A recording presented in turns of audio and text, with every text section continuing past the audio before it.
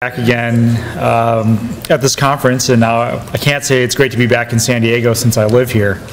Um, and so, uh, and it's also nice to be able to change my affiliation to be back here at Rady Children's Hospital. And so I have the obligatory slide of the hospital that, that I'm at now, and so it was fun to get to change this down to palm trees and, and sun.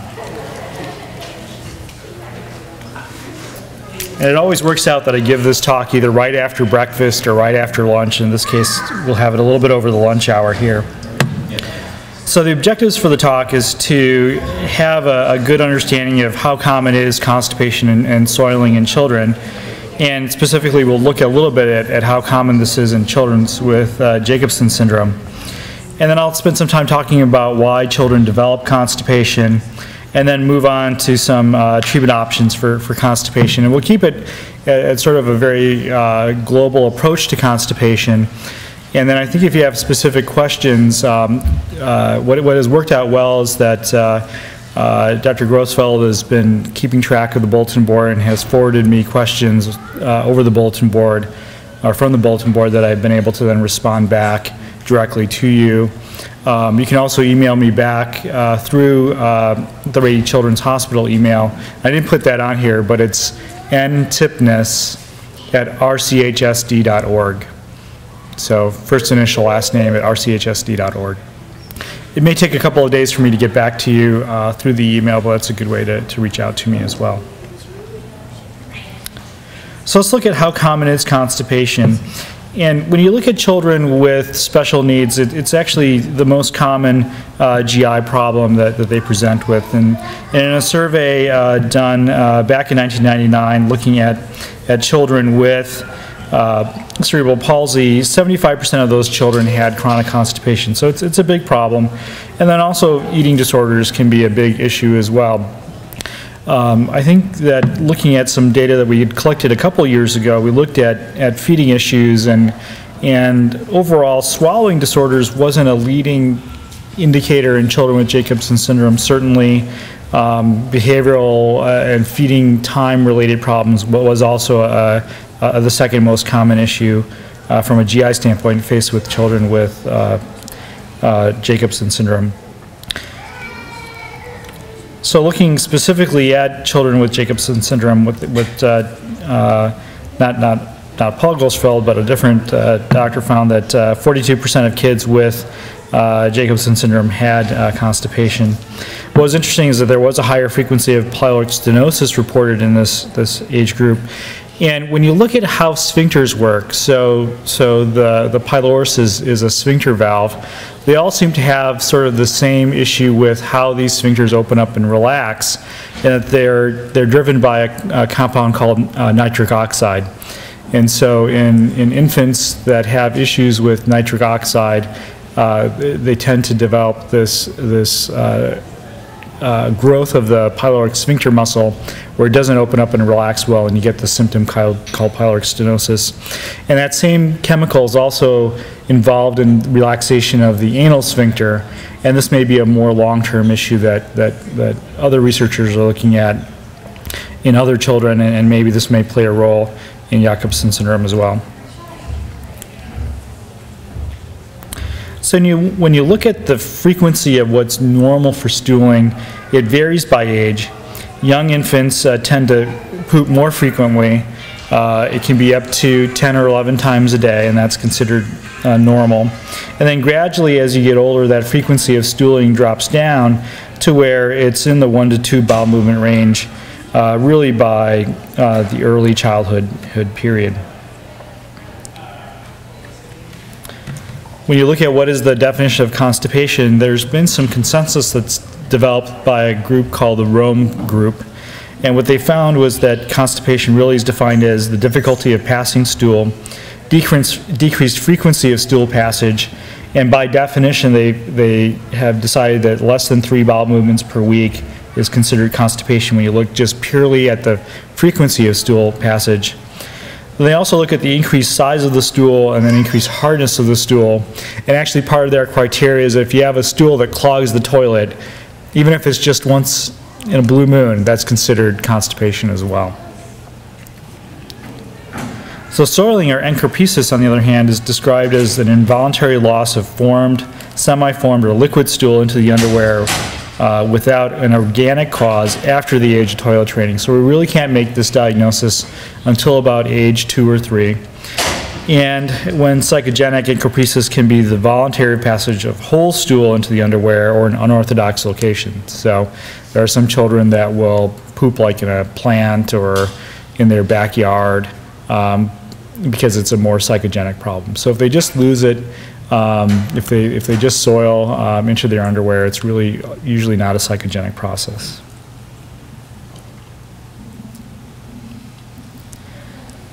So in reality, this is what we're trying to avoid when we manage constipation. And now we'll start looking at some factors of why does constipation happen.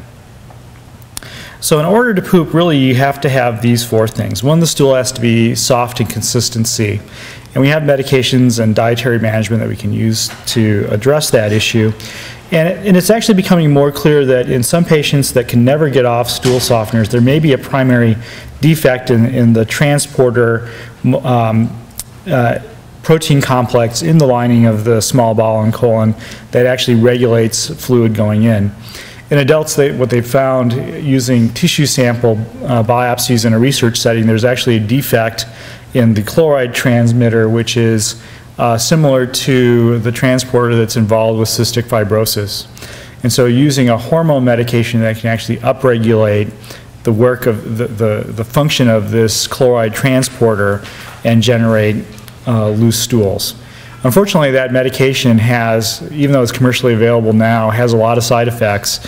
And particularly in children in the studies that were done, they found that they had more side effects than Miralax did. So most people are opting to stay on, on Miralax medication.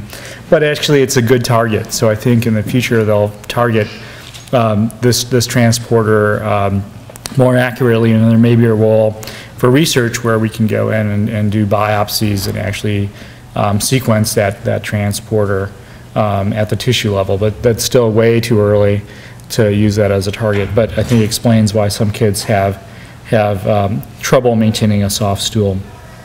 Then you have to have the signal to actually, or reflex to generate a bowel movement. And so there's, there's two reflexes that are involved in this. One is called the gastrocolonic reflex, and that's the reflex that when you eat food, you have the urge to go to the bathroom shortly after you, you eat.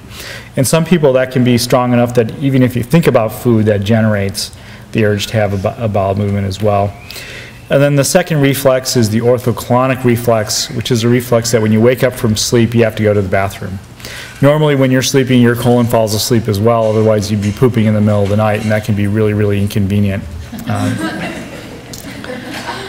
so the third thing that has to happen is that you have to have adequate colonic contractions to move the stool through your colon, and we'll talk a little bit about that um, in some uh, future slides. And then the last thing is you have to open up the door to let the stool out. So that's where the sphincter valve relaxing and, and opening up to let the poop out is important. And if it doesn't happen, it would be the equivalent of us trying to leave this room with the doors closed. So you can you can overcome this by charging the door and knocking the door off the hinges, and your colon actually does that in some cases where where it contracts hard enough and strong enough to, to actually overcome the strength of that sphincter valve and let the poop out. But as you can imagine, that can be really, really painful, and that's when you see kids that are crying and straining and grunting to try to get their stool out. They're actually not letting the door open um, adequately to let the poop out. And we'll talk a little bit about that and how we can assess that um, manometrically. So when you look at medical causes of constipation, um, they really fall into different categories, altered anatomy, and there's some, some things that we can see on, on physical exam to look at, at whether the anus is in the right place, whether it actually is open, and whether there's um, tumors like a, like a sacral teratoma um, that could uh, cause and impact the anatomy of the, the anal sphincter area. And so with a good exam, we can identify that pretty closely. And then there are some uh, neuro, neurogenic pathos, uh, uh, causes, uh, spinal cord abnormalities, and again, we can pick this up on physical examination by looking at anal reflexes and whether there's you know, physical deformation of the, the lower spine.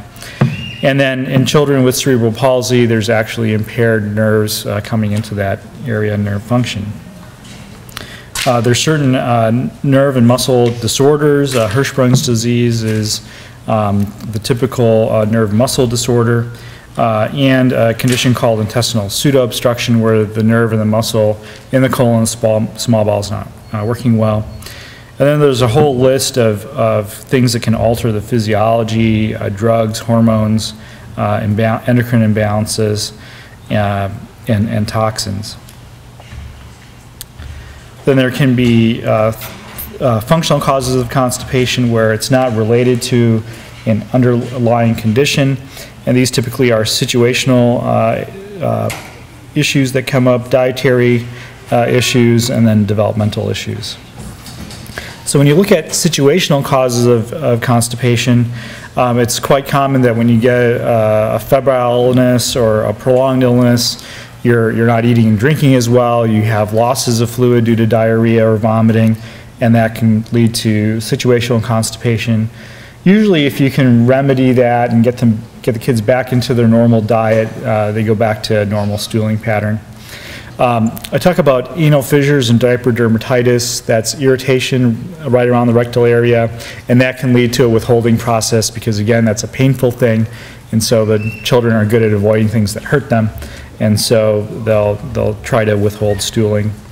Uh, medications, so uh, a common medication uh, or a common condition that has um, medications that lead to constipation is ADHD. So many of those uh, medications have constipation as a side effect. Um, and so I see constipation in a lot of uh, those children. And then also excessive interventions. And so we have some kids that get frequent um, uh, rectal uh, uh, examinations or interventions that are done. And because they're, they're trying to avoid that um, intervention, they actually withhold stool from that as well. And then lifestyle. So it's a busy life now, trying to uh, uh, juggle uh, work and, and school, uh, making uh, mornings and meal times very hectic, and so that can, can also lead to uh, problems with constipation. From a diet standpoint, inadequate fluid is, is very common. Um, in my practice now, I've really pushed fluid, and, and the lack of fluid not only provides a way for the stool to dry out, but also affects nerve function as well. And so there is more evidence now that kids have autonomic dysfunction where the, the nerve pathways that actually control the colon um, are, are essentially getting dehydrated. And so the hydration not only helps keep fluid in the stool, but also helps keep good, good nerve function. And salt may actually play a role in this as well, where you need some salt to actually keep the fluid in the body itself and keep the fluid in, in the nerves. Um, and then uh, with diet, low fiber as well. So in, in kids that aren't getting a well balanced diet, their fiber intake can be low. And so they're, they're not maintaining the proper amount of bulk to keep fluid in the stools. And last, I'll mention uh, some developmental uh, issues. Um, so both cognitive and physical hand handicaps play a role in both the ability to recognize the need to go to the bathroom and then to be able to follow through and actually go through all the motions that you need to go through in order to, to relax the right muscles to, to develop a bowel movement. Also, the delayed acquisition of motor skills play a role as well because you're not able to physically maneuver and relax the muscles to, to generate a bowel movement. There may be some issues with genetic predisposition and that it can uh, lead to uh, colonic inertia and, and, sluggish bowel, and also lead to uh, feeding uh, difficulties where you're not able to uh, take in enough fluid to, to maintain hydration. And then when you look at psychogenic issues, that can also play a role. And so for some kids, it can be a way to avoid situations that can be very um, troubling to them, like going to school. Um, but these are psychologic conditions that all uh, play a role in, um, in uh, stooling avoidance uh, in, in some children.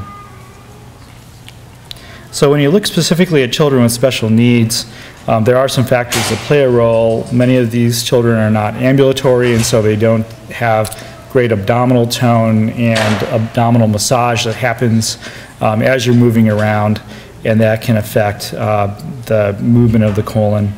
Uh, their fluid and fiber intake, poor coordination, medications, and then also other comorbid factors.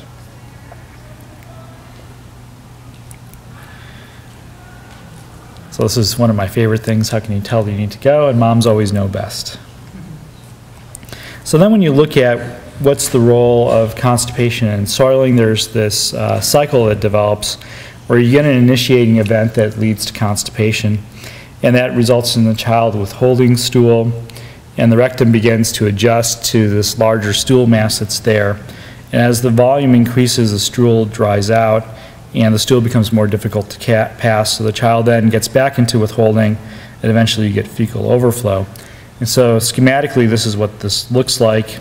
Take this normal colon, you start to accumulate stool, you get this uh, stretching of the colon that then results in a megacolon.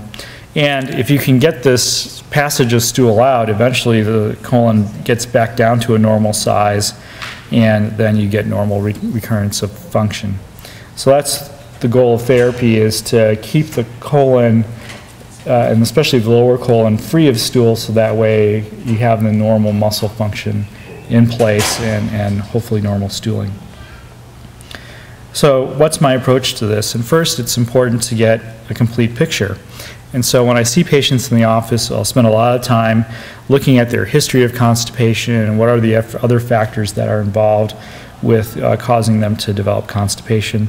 They'll have a physical exam and based on the exam we can tailor a diagnostic approach to look at you know these these factors uh, are their colons having a normal uh, reflex response to, to develop these contraction waves um, are the contraction waves going through all the way uh, through the colon, and whether they're opening the door properly. And then we can uh, uh, offer treatment for this. So I already alluded to with the history, uh, talking about you know when and how did it start, um, what treatments have been used before, if there's any factors in the family that, that may predispose somebody to having constipation, and uh, from an environmental standpoint, are there things that are contributing? And then looking at uh, medications and diet history as well. So on the exam, I'm looking at a general assessment of their growth, and I do a, a complete physical exam, including a, a, rectal evaluation. And what I'm looking for are whether there's any skin tags or fissures that may imply other medical conditions that could be present uh, whether the reflexes are there, and just physically is the rectum in the normal location. Um, in some children, that rectum could be displaced or moved more anteriorly, so towards the, the, the pubic bone in the front, and that uh, alters the anatomy of the rectum and causes you to essentially have to poop around a corner. And so then you're not able to expel the stool very efficiently. Um, so diagnostically, some of the common tests that I'll do is just a, a regular x-ray uh, of the abdomen, both in a frontal view, but then also from a side view, so we can get a, uh, a, a view of, of the, um, you know, what's in the rectum and what's the actual uh, anatomy of the, rect, uh, of the rectal area to see if there's um, uh, an abnormality with the uh, direction at, at which the stool is coming out. I may do some metabolic testing to look at thyroid function, to look at electrolytes, to look at kidney function, and then if indicated, we can do a lead test. Usually that's part of routine uh, screening uh, during the first five years of life, and so um, if I know that that's normal, then, then I, I don't order that test. And then I'll do some tests to look at function. And so right now there's a test that we can do called a Sitzmark test. And I'll show you what that test is uh, later on in the talk. But it lets us look at whether uh, contents are moving through the colon in a normal way or not. And if it's not, then by definition you have something called slow transit constipation.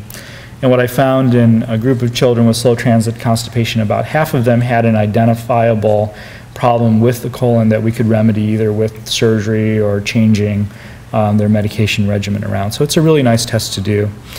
And eventually we're going to have some other uh, better non-invasive tests to look at uh, colonic function that can really look at the whole bowel itself to see if things are moving through well.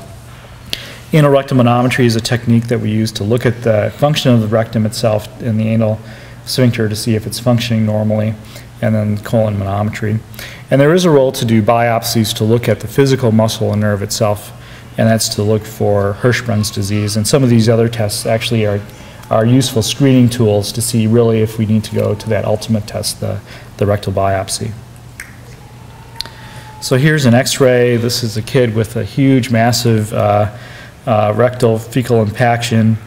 And um, you can see the outline of the air in the stool here, and, and there's just no way that that's going to get out without some type of intervention. So it's helpful for us to screen for a, a fecal impaction without having to necessarily do a digital rectal exam.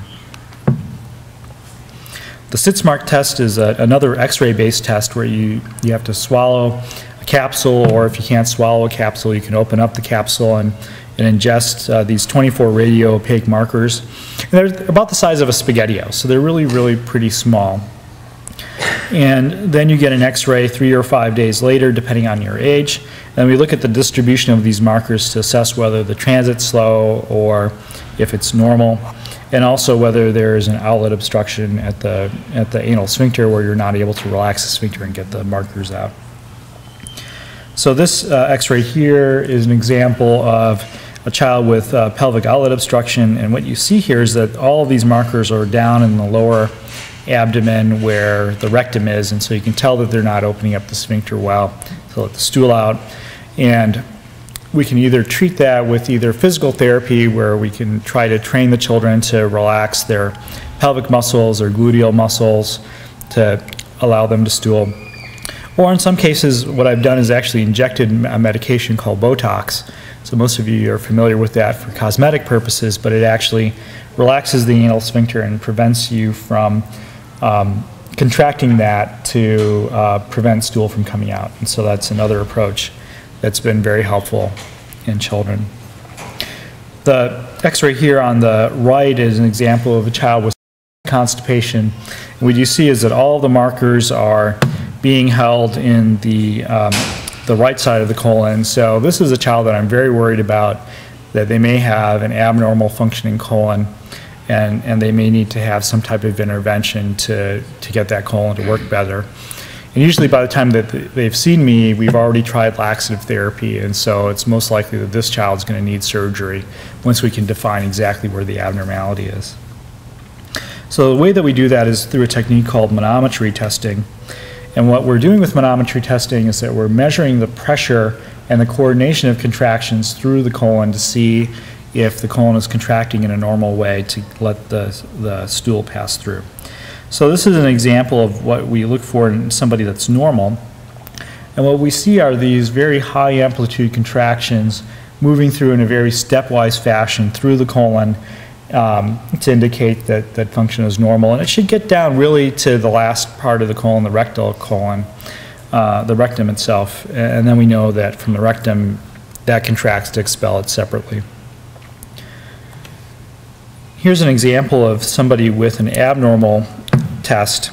And what we see in this patient is that the contraction waves are only going through the very first part of the colon, but then really it's not getting through the rest of the colon itself. And so that last half of the colon is not functioning correctly. And so this is the patient that if we've tried medication therapy and physical therapy and they've not gotten better, then we would move on to a surgical approach.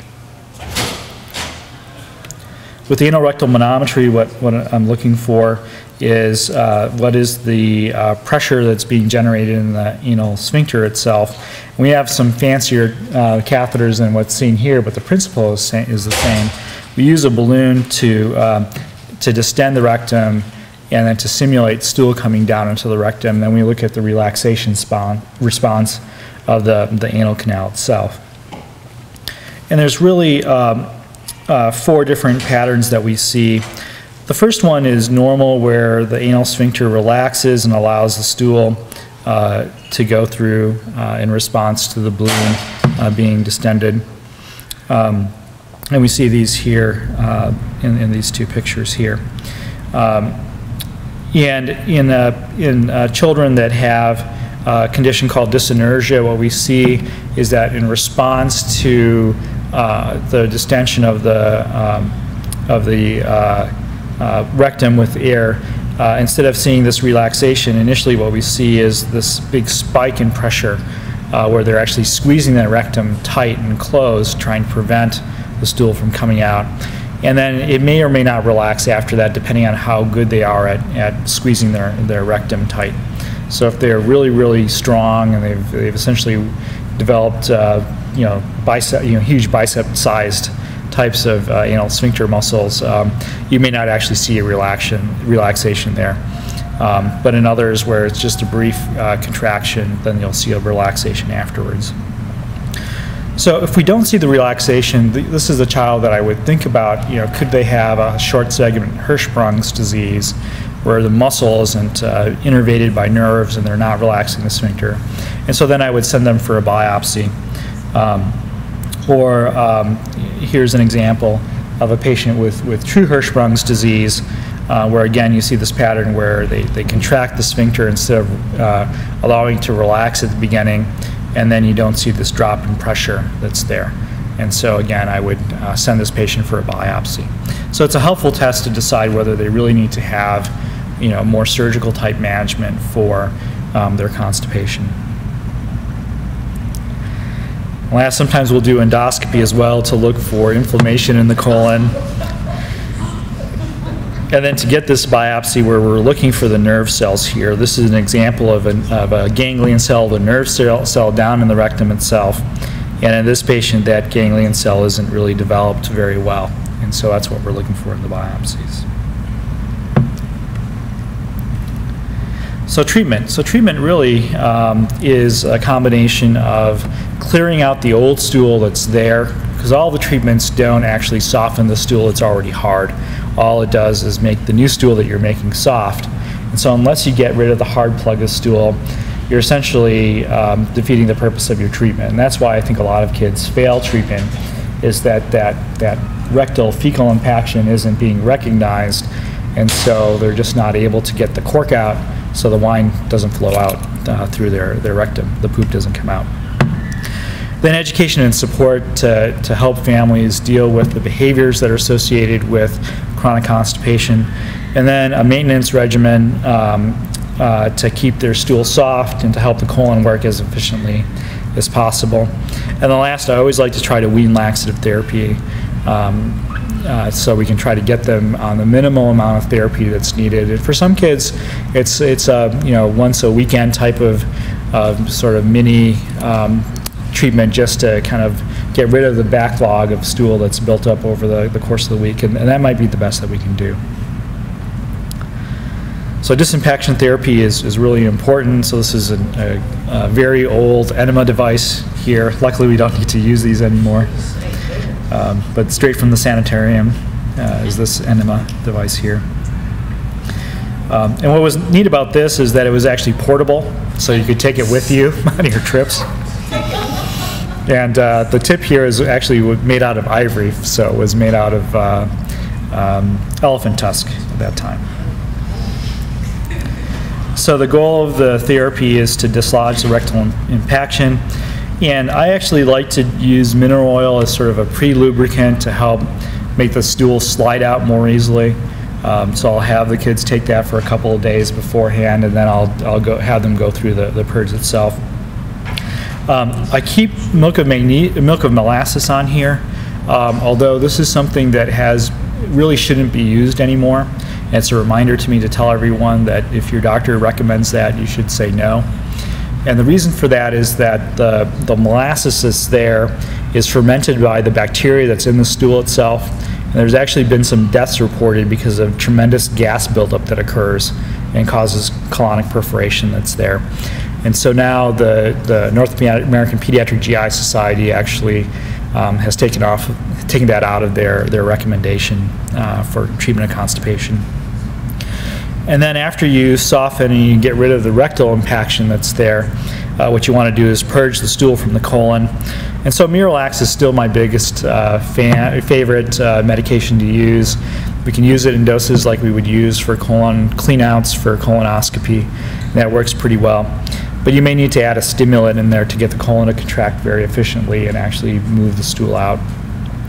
Um, you can use Fleet's phosphosoda, uh, but you have to be worried about side effects due to um, what's happening from an electrolyte balance standpoint. And so in kids that have renal disease, um, you know, this, this would be a toxic medication for them.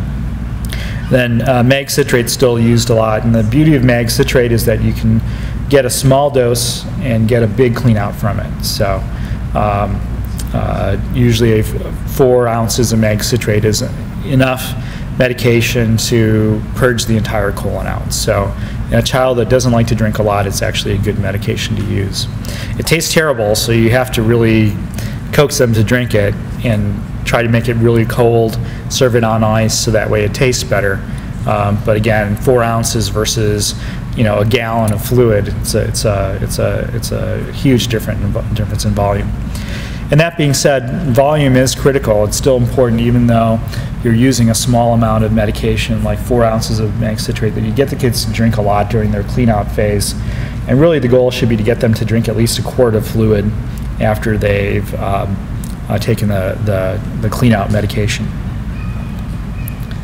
So behavior is important. So getting kids to sit on the toilet regularly is really, really important. And so I tell families it's important to, for the kids to be on a routine, to have them sit on the toilet twice a day.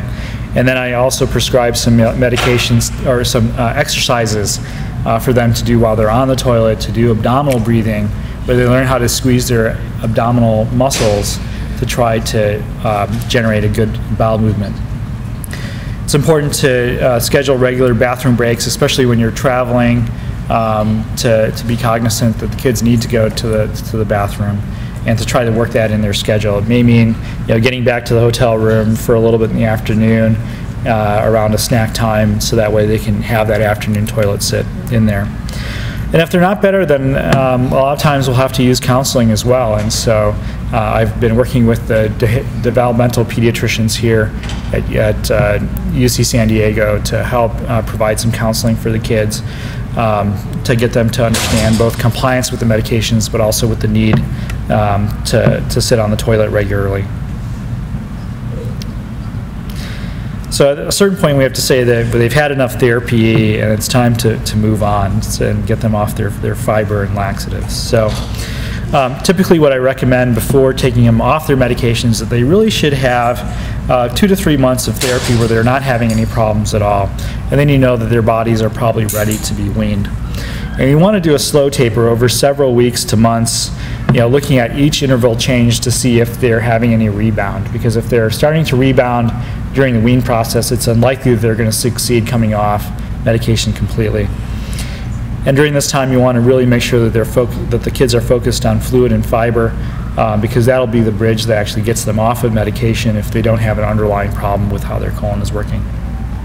And if they start to rebound, then you need to put them back on their, their best treated regimen to prevent that buildup of stool, to prevent the impaction, and from essentially having to start over from, from ground zero. So in some cases, though, medication management doesn't really work, and so then we have to look at surgical management and for some patients, it's actually a removal of part of the colon um, that's not functioning well that we can identify through manometry techniques um, to help them stool better. But there is a procedure that I really like to use, which is a, a, procedure called a cecostomy tube, or you can actually put that into the sigmoid colon itself. And what that allows you to do is to actually do these antegrade enema techniques where you can actually flush the colon out that way and you can actually do it on a schedule so that way you make it very predictable for the kids because usually if you have the regimen adjusted correctly within 20 to 30 minutes of instilling the medication you're going to have a, a, a clean out um, essentially of your their colon and so that way you can you can keep the colon empty and then prevent them from having soiling accidents. And so what that cecostomy tube looks like internally is essentially a, a G-tube that's there. Eventually we can put a G-tube right into that, that lower part of the colon itself. So externally it looks like a button device, but internally it has an opening there that they can that you can use to, to purge the colon out. And, and while it seems like it's a pretty radical step that's there, when it, it, when it works, it's really a good quality of life device because now you don't have to worry about, you know, um, uh, arranging your day around the child's bowel movements. Um, and also, and cosmetically, it, it, sits very flush on the skin. So really, the only people that know about it is the child and the parent. So, so it gets the kids back into a normal social environment as well. So it's really a, nice, nice device to use. So I just want to conclude that constipation is pretty common in children with special needs, and it's a really a multifactorial um, disorder. And so the treatment has to be individualized uh, to uh, use a combination of medications and behavioral strategies to minimize the risk of, of uh, and social risk of complication. And there are some nice emerging operative uh, strategies that are there. And actually, we're going to find some new diagnostic uh, strategies coming out probably in the next three or four years using some minimally invasive devices where you know, we can look at colonic function very nicely uh, without having to do invasive procedures to do that. So I think that that's something that, that probably two or three conferences from now I'll be able to talk about that in greater detail. So I'll take a few questions here because I'm, I'm, sure that you guys have some specific questions. If not, you can feel free to email me as well. Okay. I got the microphone. I'm going to go ahead and ask one question on behalf of the, you know, the Spanish-speaking families. I hope I'm translating it properly. But I think the question is basically their daughter, uh, I think, has not been allowed to take Miralax because of constipation, but has she been taking it anyway for a couple of years? Yeah. And so just the question is, what are the safety issues, the concerns about Miralax? Sure. And that's a good question because when you look at the FDA watch list, it's actually on the top 16 list of drugs that have had reports made to the FDA. And time and time again, the FDA has come out saying that the, the reports, um, and these are reports that, that anyone can generate, have not been associated with toxicity. So, so what this medication is, it's a, res, it's a resin that's uh, not absorbed by the body and it's designed to osmotically hold water in, in the stool itself. So it's not absorbed at all. There's been some nice studies done in Europe where they've had children that have been on this medication for, for two to four years' time. That was the time frame they were looking at. And they could not detect this medication at all in the bloodstream of these children. And then they also looked at kidney and liver function, which are the two main mechanisms that our body clears chemicals out of our, our bodies, and they found that there were no derangements uh, that had, had changed from their baseline liver and kidney functions at that end of that two to four year period that the kids are on the medication. So it's pretty safe. What I have seen is that I've, I've seen some kids that develop allergic side effects where they get hives and rashes in response to the medication, but usually that's, that, that's a true side, that's a true allergic response that's there. Uh, and it's usually due to the fillers that are in the medication. But I can, I can, I can name three kids um, out of a few thousand kids that I put on Miralax that actually had an allergy to it. So you're going to know within the first few doses whether or not that's that's a problem. She can drink water. She can't drink water. She can drink water. Yeah. Um, so she can't drink liquids. So, yeah. So um, you know you can you can mix it in in really in any fluid. You're going to absorb the nutrients from it, but you're not going to absorb the fluid itself. Um, so that's why you can mix it in milk. You'll still get the calcium and the vitamins out of the milk that it's in, but you're not going to just get the fluid out. So you need to, you know, increase or not count that eight ounces of hydration towards the total fluid needs for the day. But when I when I count when I count, you know, constipation hydration, it still counts towards that because it's fluid that's getting into your colon. We'll have time for a couple more questions? Sure. or Mhm. If not, uh, okay. Yes.